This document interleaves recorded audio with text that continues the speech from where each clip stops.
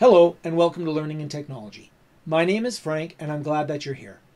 In this video, we're going to take a look at Microsoft Teams, but we're going to look at extending the capabilities of Microsoft Teams by using apps. Apps provided by Microsoft, third parties, or even custom apps that we write ourselves.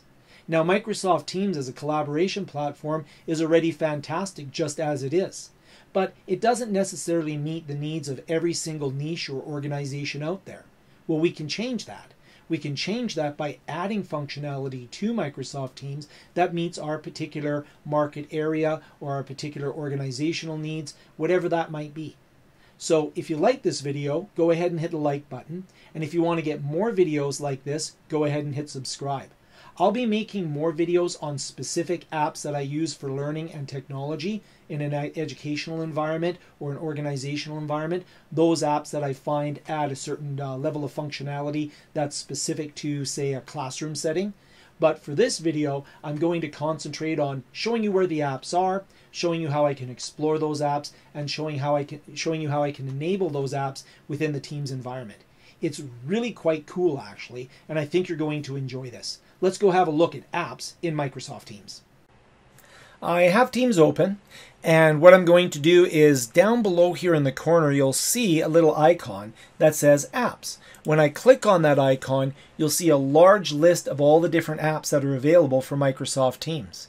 And you'll notice that I can also search by an individual app if I know the name of it, or I can search by some of the different uh, functions that I may wish to perform. So obviously for myself, education is near and dear to my heart, and you can see a lot of different apps developed by different uh, developers that relate to education. You know, scroll down, it's actually quite a long list. But if I go in, for example, I might not understand all of these apps. I might not be familiar with them all. There are some that I am familiar with, and I'll make videos subsequently on that. But let's say I go into Prezi. So Prezi is a very popular tool that we use. Notice when I click on that app, it's going to give me a little uh, video that's going to explain what Prezi is and give me some information on collaborating using Prezi. Uh, gives me some information on what it is. I can get started. Now, it is important to note, not all apps are free. Some of these are really just connectors into your uh, existing Prezi account, for example. I can go ahead and add that account in there. And when I add it in, I, I don't currently have a Prezi account, so it's going to go and add it in. And you'll note, welcome to Prezi, talks about the video. I can take a tour. And then if I sign up for a Prezi account, then my assumption there is I can do more. But if I go back to my to my bar here, you'll notice that Prezi video now appears on my list here. And if I drop down the ellipse, you can see that there's a number of other apps here. For example, I do like to use Yammer to create a community. So I have an, another video where I talk about Yammer communities for my environment. Um, if I go in here, and this is from my other video. So, you know, we always have to have a cat on the internet. Wouldn't be the internet without a cat. Uh, and if I drop down here, I can go into, for example, uh, it's nice to have a stream where I can store all of my meeting recordings in one, one place there. And you see what happens is it starts putting those apps along the, the side here. And, and you can see that it's only got a few in there. But if I drop it down, I can find whichever one I want. So I can go back to, to Prezi here. I can also go into my teams here. And when I'm within my team, notice I'm in my general channel here. If I go down here, you'll notice that I actually have, when I hover on this, I have Prezi video here. So I actually have uh, the app now down below here that's part of this channel because I've put it into my Teams environment. And if I hit the ellipse, you can see, for example, I can put Power BI on there for analytics. So I have to sign into Power BI. So I do have a Power BI account. I'm not going to sign in right now, but if I have a number of analytical dashboards, I can actually have those as part of my team environment. Once again, I'm not going through the individual apps and explaining them. What I wanted to show you here is that you can find apps by clicking this little button.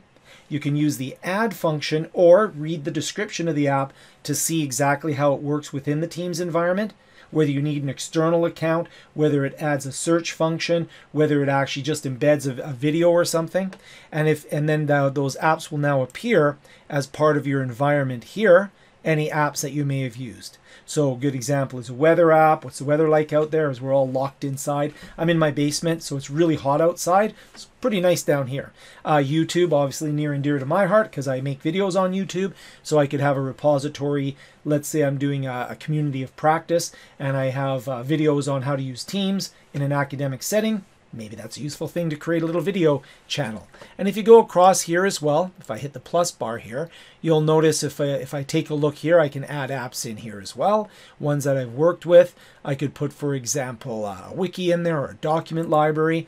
So I can pop in a document library and link it in. You can see that I've got some sample ones that I've done from previous demonstrations that I've done. So it sees, uh, you know, Save the World project. I can link that in there and I can put a document library in there. I'll do the documents from the Save the World project.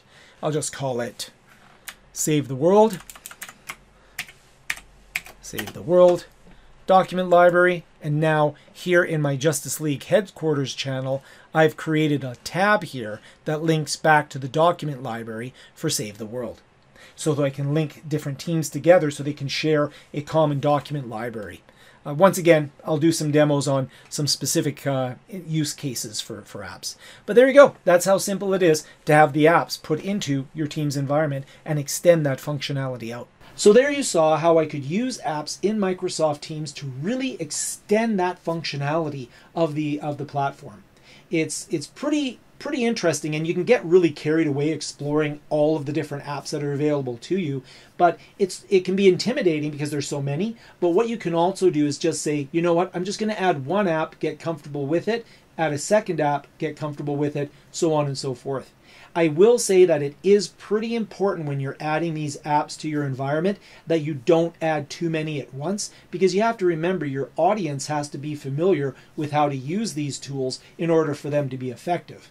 So, like many things, you can't just click enable everything and then all of a sudden expect people to know how to use everything. You actually may wind up causing confusion when you're really trying to cause clarity and collaboration. But that's a subject of some other videos where I'll talk about those apps that I think are the most important for, say, a classroom environment. I'm glad that you watched this video and I hope that you enjoyed it. Hit like, subscribe for more, and I have some other videos on this channel that might interest you as well. Thank you so much for watching. I really do appreciate it.